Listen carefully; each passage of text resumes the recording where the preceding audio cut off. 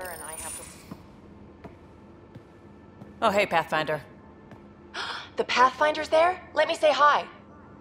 Fine, but don't embarrass me. Ryder, this is Sid, my sister. Sid, Ryder. Let me guess. Little sister? Who are you calling little? Look, kiddo, gotta go. Wait, Ryder, I just wanted to know if.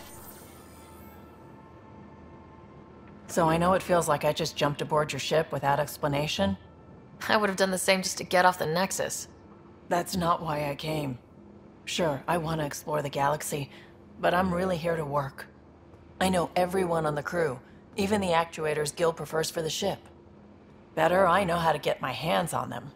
With me around, your crew's going to be at their best. We've been failing for months, Ryder.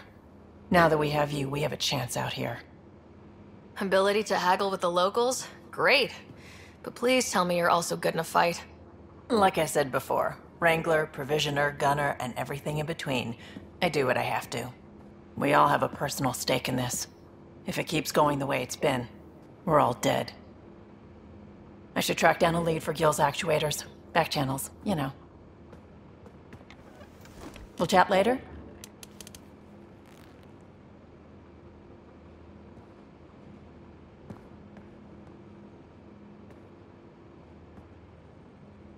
Terraforming, Atmo processors, gravity wells, life-destroying murder bubbles. we really had no idea what Heleus was about, did we? if we knew what it was all about, it wouldn't be an adventure. It would just be moving, and everyone hates moving. Just the packing alone. Blah. Point taken. I'm just saying.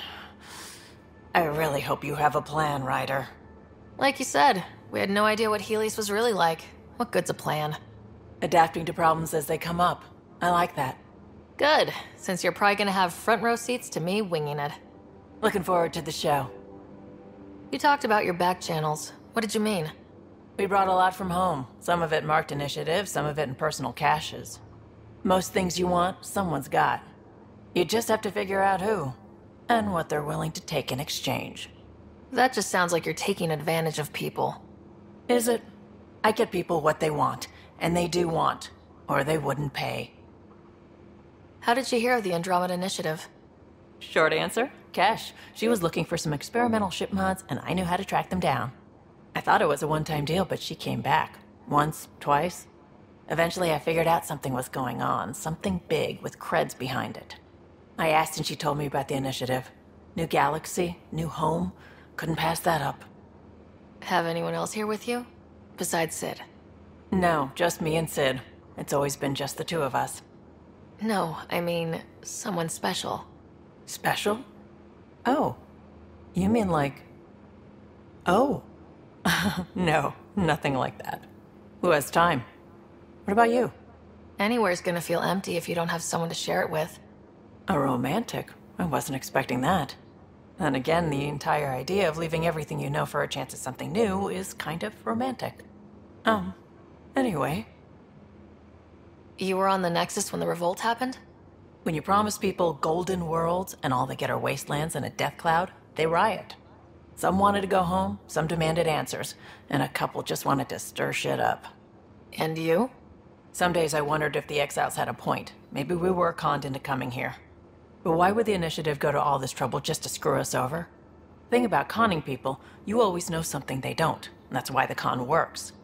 If I'm going to pick a side, I'm picking the liars. You probably have work to do. We can chat later. You know where to find me.